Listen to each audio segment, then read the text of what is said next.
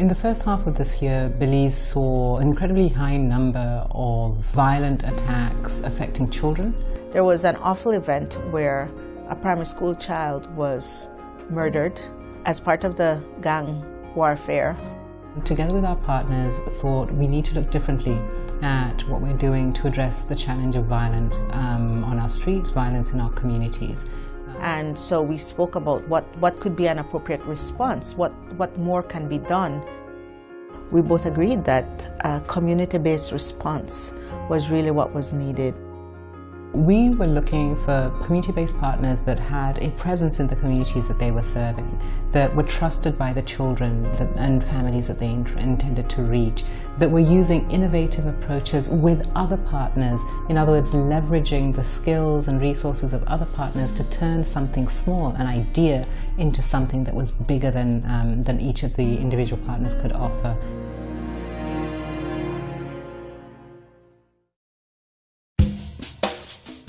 YES is Youth Enhancement Service. We have three areas that we work with.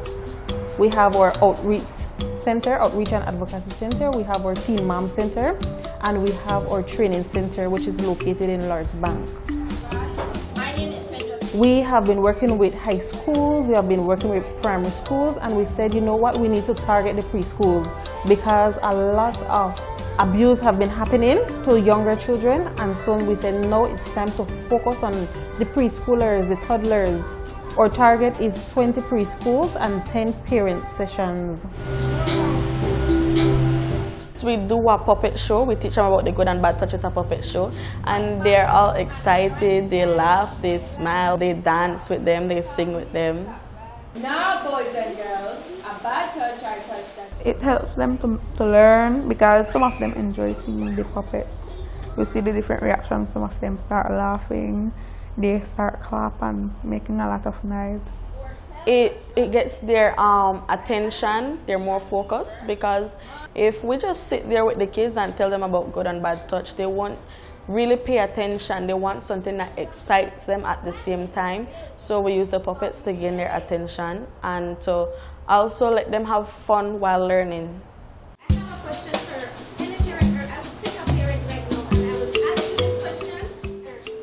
To the parents, we're teaching them like friendly child play or positive discipline or the ways, different ways how to stimulate your child, play with your child. We teach them also about the different abuses, emotional abuse, physical abuse, verbal abuse. We teach them all the types of abuse and we just also give them a little rundown about the good and bad touch.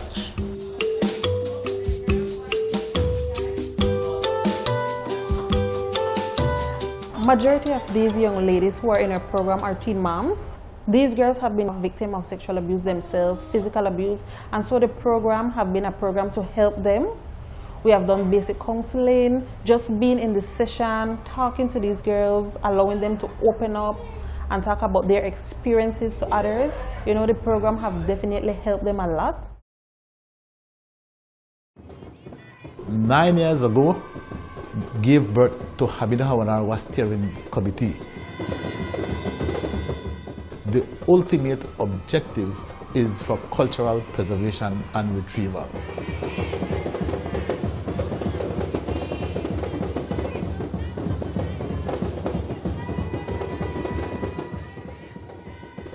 Jankuno is a, the, a, a Garifuna cultural dance, a male dance, which is used to mock the colonial masters at that time. Habino Wanaragua is our form of Jankuno. This crown on your head while you're dancing actually represents the master. In an effort to find solution to the crime and violence, we firmly believe that starting at an early developmental level is perhaps the best way to deal with crime and violence.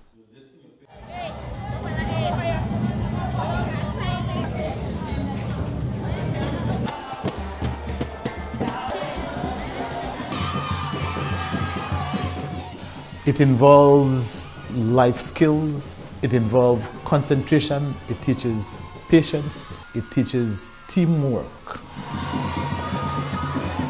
What better way to keep the children them positively engaged, not to be involved in crime and violence, but rather getting engaged in something which will teach them discipline, something that will teach them teamwork, something that will ensure that they have a skill.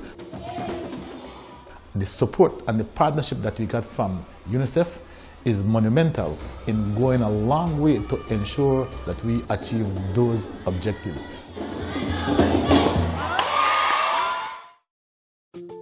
Belmopan Active Youth is an organization that was formed in 2012 and its main focus is to empower, educate and engage young people of Belmopan and surrounding communities.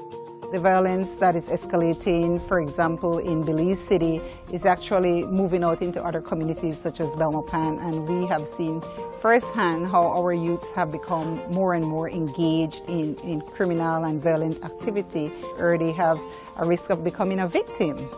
Well, in terms of armed violence, we have done many training in the past, but of more recent, we have partnered with UNICEF in a program that specifically speaks to armed violence. In that program, we are training 120 young people from Belmopan and Roaring Creek and neighboring communities.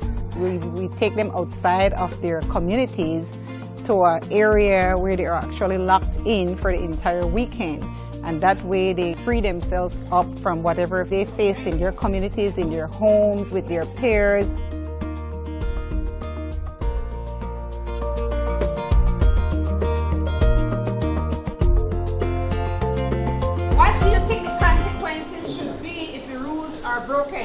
Okay, we, will, we are going to send them home according to what? Where's your name tag?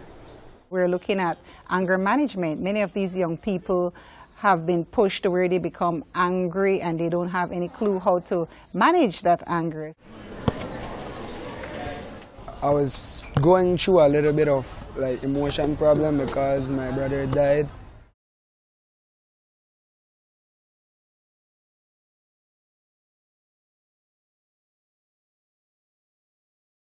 When I first went out, I thought it was about just loan playing, but when you reach here, it was about like teaching young people, youths about drugs, friends who they hang with, like try to be a leader, not a follower, like show, show the right way. Many of them are leaders in their own right. They're leaders in their communities, they're leaders among their peers, they're leaders with their siblings. Coming into the program, they may not display a positive leadership um, skills, but we're hoping that by the time they come out of the program that they'll be able to lead in a more positive way. Six months ago, I was someone who was lied. I like to tell my mom lie. I used to smoke. Used to be disrespectful. Well, not to my mom, but like to my teachers and other people. To be disrespectful. We actually see the transformation in them, and we see them turn into leaders and coming back and even facilitating training and coming back and giving testimonials it changed me. So like how it changed me, I'm probably sure that it will change the rest whoever. You will go through like mind changes, you will have friends that will tell you, oh, you're weak, you this, you that. But it's your mind, you just have to put your mind to it and show them, no, I know I want to be, I want to be a leader, I know a follower. Project Heal is a program that falls under the St. Martin de Porres Parish that has been placed here to work with the children, teachers, and staff of St. Martin's de Porres School. Our plan primarily is to work with helping them further their academic success, but also a healing process to some of the experiences they've had throughout their lives. We have had various different programs under Project Heal that focused a lot on the academics. But what the partnership with UNICEF allowed us to do is to dig a bit deeper on what the child and parent is experiencing. Essentially, what we did was we did a post-traumatic stress disorder assessment with over 200 students. And the whole concept behind it was essentially to explore uh, what traumatic incidents each child and, in some cases, parent has experienced and how that is presently impacting their lives, and then obviously to do what it takes to address those issues. PTSD stands for post-traumatic stress disorder. It's actually an anxiety disorder and it's caused by experiencing events that are extremely stressful or distressing. When I was doing the PTSD evaluations, I was amazed because I didn't realize the level of exposure that these kids have to different traumas and many of them have multiple traumas that they are exposed to. This includes domestic violence, sexual abuse, physical abuse and just gang violence. You know, many of them have been in situations where their life was at risk. We were developed mainly based on the cry from the teachers. The teachers kept on saying, you know, the kids are going through so much. They need a counselor, they need therapy. There's so much things going on in their lives at home. We have to constantly compete with it. And I think that's been one of our biggest focus to see how we can help the children heal. We meet weekly as a staff to discuss each case. Um, what happens then is we create a plan for each child. Um, and it varies. Sometimes we need to get the parent involved immediately, sometimes we need to get the teacher involved immediately, sometimes we need both. So, what happens is each child that comes to us for individual counseling is then we create an individualized plan per child. We are really blessed in St. Martin's to have Project Heal. It is not a project that any other school, primary school, or any other school in Belize has. What makes us stand out essentially is yes, the cry initially started with we want a counselor. But when we got it and we started talking to the teachers, talking to the parents, working with the kids, we realized that it was more need for a holistic care.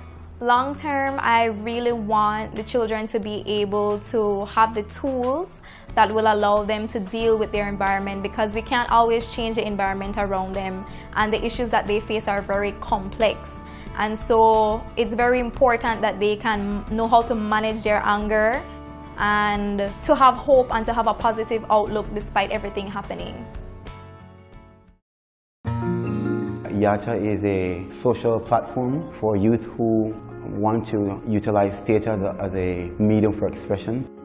My boy, once you come out here, once you come out here, I run it, I run it. Anytime you join this, I run this.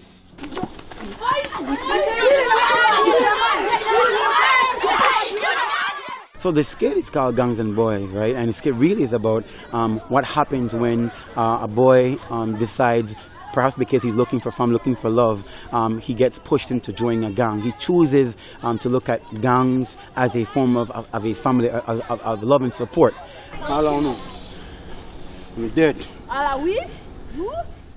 One of the, the, aspects of Walls Down is to get young people to engage in um, arts expression that will help them constructively, help them in their lives, in their communities, and help them to build resilience against crime that they see around them every day.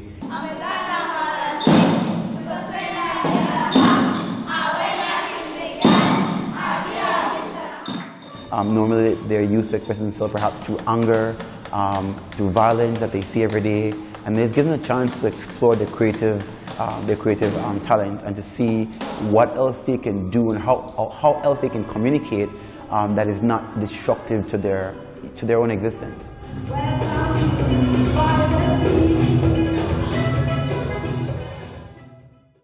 In our neighborhood, a lot of crime happen, and we are um, like all of us in the neighborhood. I think is already tired of seeing a lot of gang violence.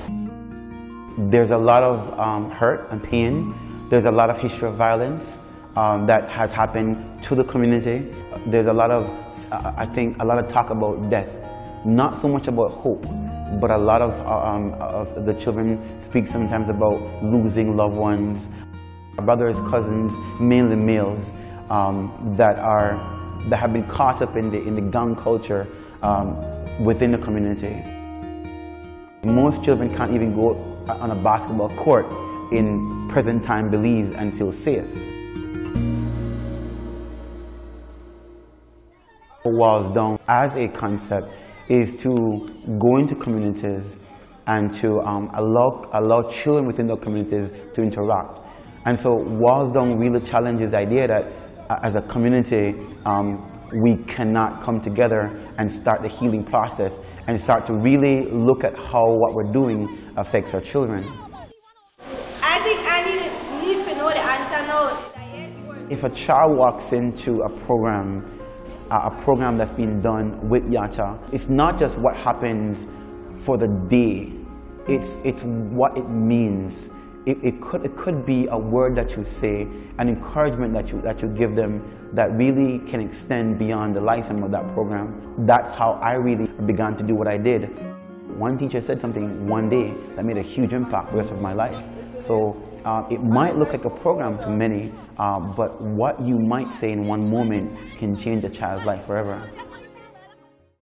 And we need community action and we need people who have energy and who have passion and who aren't afraid to do new things, who aren't afraid to put themselves out there and say, something needs to be done differently and we're doing it. If we can see more communities actively engaging, committing and providing of their own talents and, and resources to enable initiatives where they live to prevent violence through um, education and engagement of young people and so many other approaches, then we start to see then um, the building blocks that are necessary for long-term change related to violence start to take place.